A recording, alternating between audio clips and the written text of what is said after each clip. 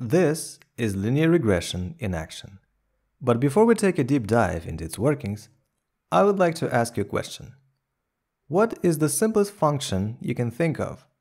While there are many candidates, if you're like most people, you would probably agree that the linear function is the most trivial of them all. And being the simplest function, it gives rise to arguably the simplest machine learning method, linear regression. Why is simplicity important? Because if you have two hypotheses that explain the same data, one complex and one simple, you should usually choose the simpler one. But before I say anything else about linear regression, let's have a look at an example. Say you have salary data, where for each person you know their annual gross pay and how many years of experience they have. But what if for some employees you only know their experience but not their salary? Can you predict it based on other people's salaries? Fortunately, linear regression comes to rescue. It fits a straight line through your data, and then we can estimate salaries by moving each point along the vertical axis until it meets this line. This sounds like good news, but what exactly does it mean to fit a line? To quantify line fitness, let's first take a look at just one person and define prediction error to be the difference between their actual salary and the predicted one. A line with a good fit is the one that minimizes the average error across all data points. For numerical reasons, it is convenient to replace errors with their squares. Of course, a straight line isn't always the best fit. Depending on the data, it might be best to use a quadratic function, or a trigonometric function, or some really complex function that nobody has a name for. But let's say a linear function seems like a good fit. Any linear function can be built in two stages. First, we select the slope, and then the offset, which simply means the shift along the vertical axis.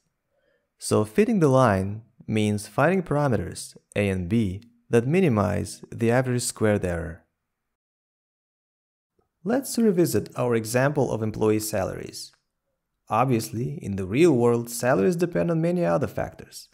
For example, we can consider the number of years of formal education. To account for this extra dimension, instead of fitting a straight line, we will fit a plane.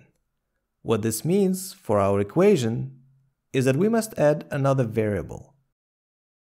Now, to solve linear regression, we need to minimize the average squared error. Remember that each error is the difference between the predicted salary and the actual one. We take the average across all data points.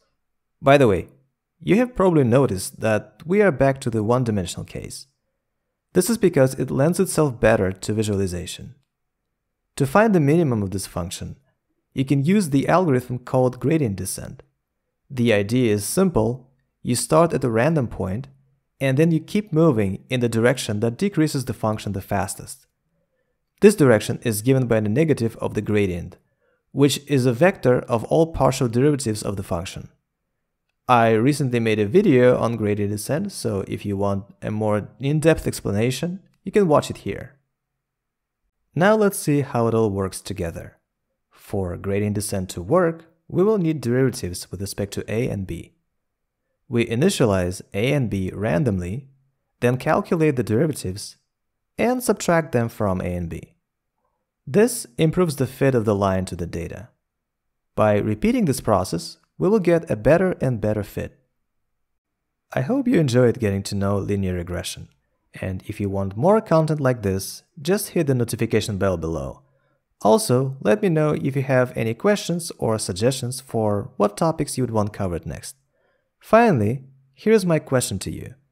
Earlier I mentioned that when choosing between two models, it's usually best to choose the simpler one.